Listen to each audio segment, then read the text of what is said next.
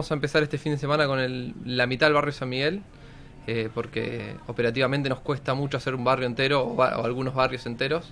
Entonces el San Miguel vamos a hacerlo desde Estivariz hasta la calle Gales. Eh, y va a ser este fin de semana, los vecinos van a sacar en ese barrio los residuos voluminosos, ¿sí? que tal vez no pueden acercar a los puntos limpios porque tienen un vehículo un medio para llevarlos.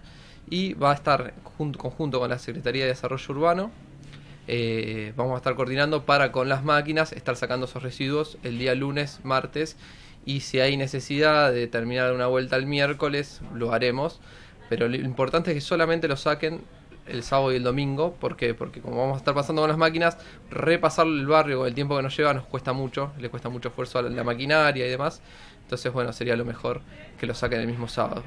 Bien, entonces decir a la gente justamente que este fin de semana se pongan en campaña de limpieza de la casa, de los patios seguramente, y sacar todas las cosas de que, como decís, son voluminosas. Exactamente. Vamos a también llevar algunos contenedores eh, para distribuirlos por el barrio ese día, para que tal vez nos puedan facilitar un poco el trabajo de si pueden acercarlo al contenedor directamente en vez de dejarlo en la vereda, que por ahí molesta y demás. Ya una vez que está en el contenedor, nosotros es más fácil retirarlo. sí.